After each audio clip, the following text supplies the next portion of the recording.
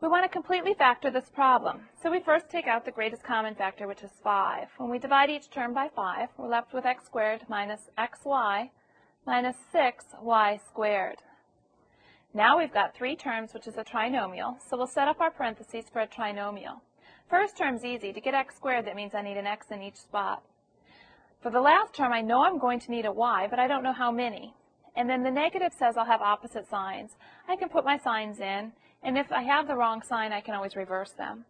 Now to get a 6, one possibility is 3 times 2, but I might also try 2 times 3, 6 times 1, or 1 times 6.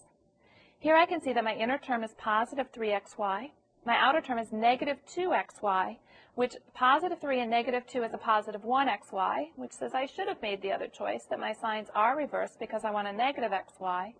So if I reverse them, I have a negative 3xy plus positive 2xy, which is a negative 1xy, which means 5 times the quantity x minus 3y times the quantity x plus 2y. Those would be the three factors. Again, you could have those factors in a different order, but those would be the three final factors when you completely factor this expression.